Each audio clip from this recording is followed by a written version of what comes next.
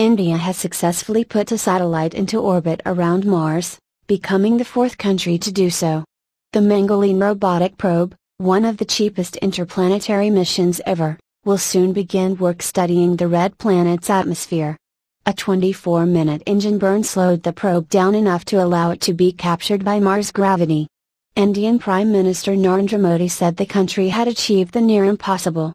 Speaking at the Mission Control Center in the southern city of Bangalore, he said, The odds were stacked against us. Of 51 missions attempted in world, only 21 have succeeded. We have prevailed. Only the US, Europe, and Russia have previously sent missions to Mars, but India is the first country to succeed on its first attempt. The latest US satellite, MAVEN, arrived at Mars on Monday. U.S. Space Agency NASA congratulated its Indian counterpart, the Indian Space and Research Organization, ISRO, on Wednesday's success. We congratulate at ISRO for its Mars arrival. At Mars orbiter joins the missions studying the red planet, the agency tweeted. From early in the morning, there was an atmosphere of excitement and tension at the Indian Space Agency's Mission Tracking Center in Bangalore. Scientists, Many of them women and several of them young, were seated in front of their computer monitors tracking the progress of Mangalyaan.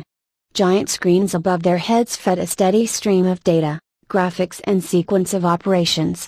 The first whoop spoke out when Mangalyaan successfully fired up its liquid engine, the first in a series of critical moves to make sure that the spacecraft was able to launch into the planet's gravitational pull.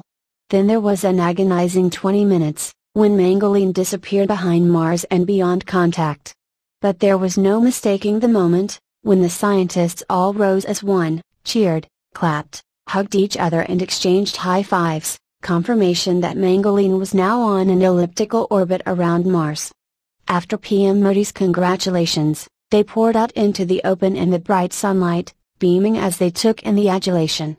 Thrilled to be a part of history, one young scientist told me, it's like hitting a golf ball from Bangalore to London and getting it into the hole in one go, Deputy Operations Director, B.N. Ramkrishna said.